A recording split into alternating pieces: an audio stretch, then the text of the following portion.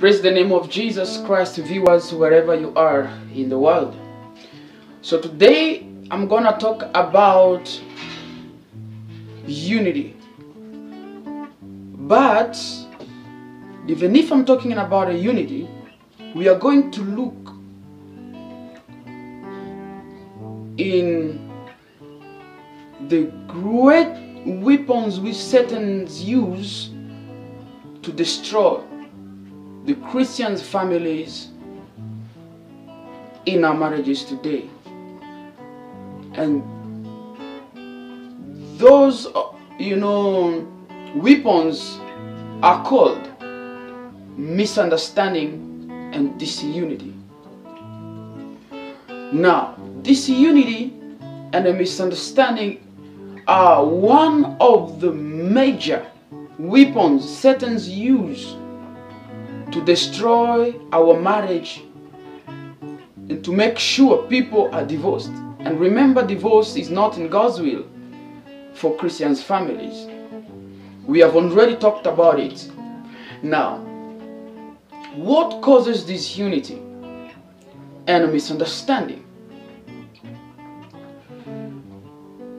Satan is the one behind all these things. You know, he brings thoughts into our minds so that you may not understand one another. Because he's, you know, his ways of doing things is to bring division. He is the one who brings division. You know what he is capable to do. When brethren stay together in unity and in understanding, he's not happy. Because when families have one mind, one understanding, mm-mm, he's not happy. And the reason why Christians' families have been victims of his devices, Satan's devices, because we do not, we do not do what? Discern. You know, the Word of God helps us to discern. When you read in the book of Hebrews, chapter 4, from verse 11, 12, 13, there, it speaks the ability of the Word of God. When you read the Word of God, in one portion it says, It will help you to discern. You know, to discern. Discernment is from the Word of God. And also, discernment is from the gift of the Holy Spirit. So, the gift, power gift of the Holy Spirit are nine. So, one of them also is discernment. Discerning between spirits and spirits, evil spirits and good spirits.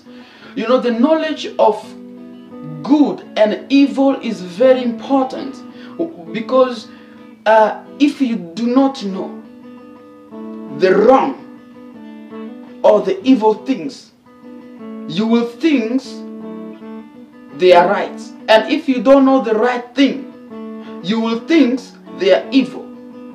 So, Jesus in his word says, My people perish for the lack of knowledge. And he talked even to the priest because the priests have rejected knowledge. God is saying he will reject the priest. So knowledge is so powerful. Satan uses mind in order to bring misunderstanding and in order to bring also um, disunity so that you may not stay together. Understanding is one of the greatest things in in the word of god because we are speaking in the book of you know ephesians chapter 4 from verse 3 the word of god says endeavoring endeavoring to do what?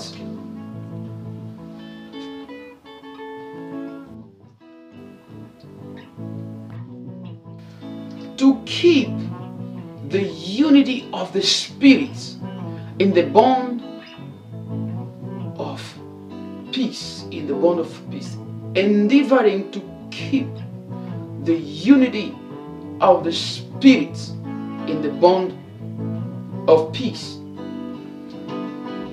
These things is spiritual. You know, God sees us one, husband and wife, before God are one. And these things is made possible through the uh, through the union of marriage in our Christian families today. And these things is spiritual. It's not like only physical. Physically, we are different. You see, this is a woman and this is a man. But God sees us one. And this happens through the intercourse, sexual relationship. They are spiritual. Even if it's an act of the physical things, but they are spiritual. So through that, God has united us, husband and wife, to be one thing. That's what I'm saying is spiritual. Hallelujah. And even we are one with God through the Spirit. We are one with our wives, one with our husband through the Spirit. Now, God says, in the bondage of what? In the bondage of peace. God allows us to live with peace. When we seek first the kingdom of God and His righteousness, all these things shall be added unto us. Because peace is one of the elements of the kingdom of God. Because the kingdom of God is not eating, not drinking, but righteousness, peace, and joy in the Holy Ghost. So you see, the Holy Spirit is involved. Keeping the bondage of peace involve the Holy Spirit because it's the bondage of the Spirit in love. Now, we see the unity of the Spirit with the bondage, with the bond of peace. It is made possible when you are in Christ Jesus. Because when we receive Jesus, we have power to become sons of God. Then when we are we have, have that power to become sons of God. That power is the Holy Spirit. Remember, Jesus said, When the Spirit of God shall come upon you, you shall receive power. It is not by power, not by might, but by the Spirit of God. So we need the Spirit of God in order for us to keep that bondage of, you know, uh, to keep that bondage, you know, of peace through the unity which we have in Christ Jesus. Hallelujah. Because only Christ Jesus is the one who have united us with our Heavenly Father God. Now, we see unity there, and here we see the bondage of peace. We need to mind the things of the Spirit by the renewing of our mind through the Word of God. Because every marriage is under the leadership of the Holy Spirit for those who are Christians. Because the Holy Spirit is leader, is our leader. He said, when the Holy Spirit will come upon you, upon us, we shall receive power to become sons of God. And also he will teach us all things. And the things which we are learning is through the Word of God. And the Holy Spirit reminds us of the Word of God and the things which will help our marriage to stay longer. Because the Holy Spirit uses, drops His mind into our spiritual mind in order for us to live in our marriages. Because marriage is spiritual and at the same time physical. So the result of following the leadership of the Holy Spirit depend on how much we take instruction from the Holy Spirit because the failure to take instruction from the Holy Spirit will bring what? Distraction, disunity, and misunderstanding. And this thing is all about the Holy Spirit of God. And you see, the Spirit of God, we say, is, is, is who? The Spirit of God is the Spirit of wisdom and of understanding, the Spirit of the Lord, the Spirit of might, the Spirit of the fear of God, the Spirit of knowledge. Hallelujah. And the Spirit of might. You see? So, marriage is spiritual. How to do that is all this information that God wants us and you to know. And God sees in the you know in the setup of marriage because it was orchestrated by God. It, it began with God. So leadership is in a man. So it is my advice to every man in the world to connect with Christ Jesus by believing in Him in order for you to receive instruction from the Holy Spirit to lead your family. Because a husband is the leader of his family. And it takes in from, you know, instruction from the leader who is called the, the Holy Spirit. The Holy Spirit is the spirit of understanding. So when you follow understanding from the Holy Spirit, the instruction of understanding, that means misunderstanding will be far from you because you will discern it. Because we see one of the gifts of the Holy Spirit of nine, one of them is called discerning between spiritual things, that is, evil spirits and good spirits. It's the you know, Holy Spirit is needed and you, as a wife, if your husband is a born again Christian and he is under the instruction and the leadership of the Holy Spirit, know your man is blessed. So don't be head minded, don't be stiff necked as a woman not to follow what your husband is saying because God respects leadership. God is a, is a God of order. And if you have not received Jesus Christ in your life as, as a man, as a husband, please do so. Do so today. Because God is counting on you. You are the one to lead your family. Leadership, as you know, from the beginning was given to man. Adam was given the leadership, but he failed in that leadership because God told him not to eat the, the, the fruit of the knowledge of good and evil, but he received that misinstruction from his wife because the wife ate what God did not allow her to eat. So when she gave to her husband, the husband also did not consider the instruction which God gave unto him. Hey, he ate also. That's why sin came to the world. But if the man was brave enough to say, My wife, you have done wrong things, I will not do that. Let me pray for you. So the failure of marriage is also men, we we are blamed because love is not foolishness and love is not blind. Love is sober. Love is so sober and love is wisdom. God is love, and love is wisdom. Love is obedience. Love rejoices with the truth.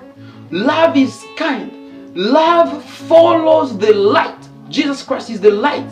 Love is under the leadership of the Holy Spirit. If you have the love of God in you, you shall follow the Holy Spirit.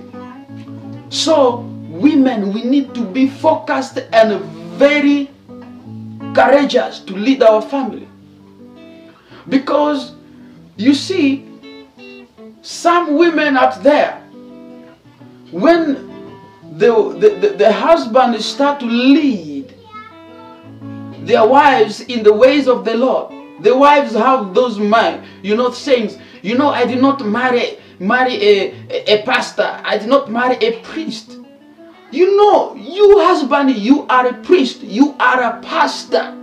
You are the visionary. You need to follow. Even if your wife is telling you that, no, tell her the truth. This is my responsibility to pastor my house, to priesthood my house. To show the light of God in my house. So, women, that's wrong. When you tell your husband is not a pastor in your house, you're not a priest. You know, a godly husband receive instruction from the Holy Spirit. And the Holy Spirit receive instruction from Jesus Christ because Jesus said, He will take from me and give it unto you. So if we follow all these things, let me tell you, the weapons of disunity and misunderstanding will be far from you, far from your marriage. And the marriage which have getting to divorce in the result of misunderstanding and disunity, may God start to restore it today. In the name of Jesus Christ.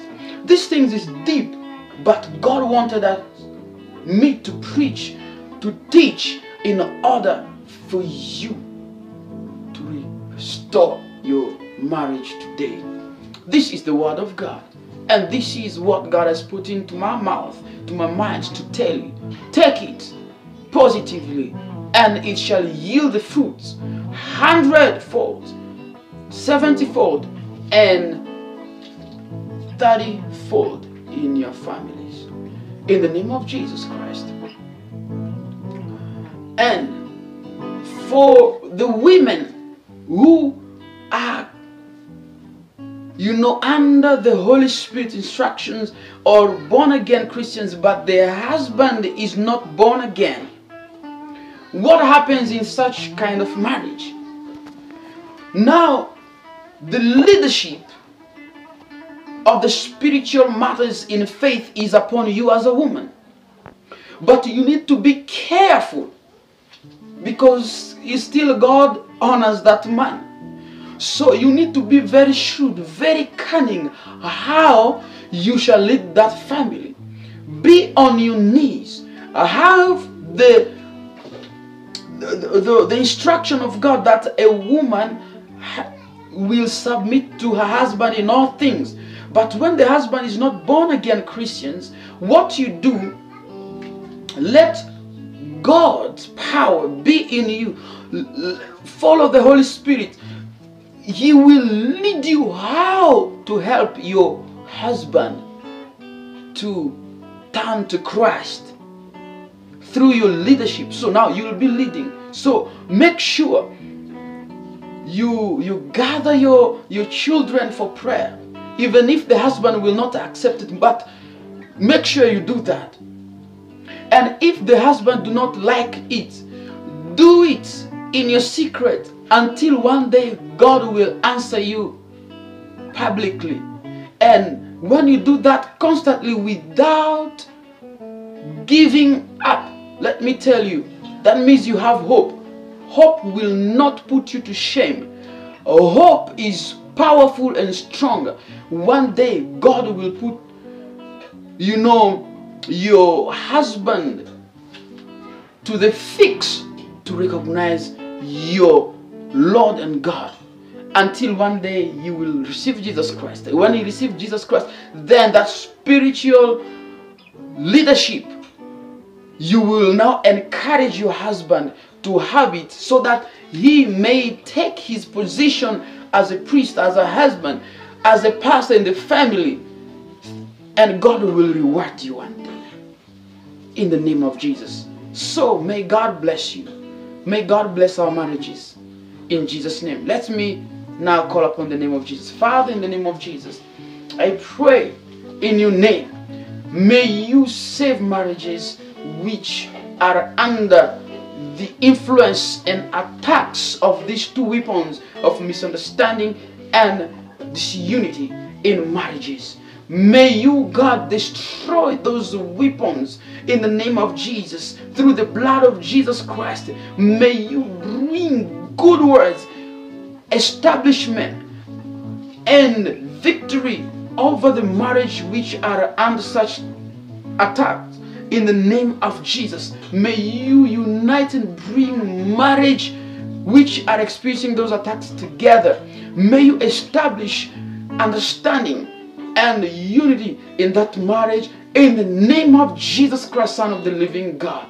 May you bless Christians worldwide and help the Christians' marriage now to start having power revival under the influence of the Holy Spirit in the name of Jesus Christ. May you, God, establish unity and understanding through your spirit in the bond of peace in our marriages and let your peace prevail in Christ Jesus. Oh, hallelujah. Thank you, Jesus, because it is done. Receive all the glory, receive all the honor in Jesus' mighty, powerful name.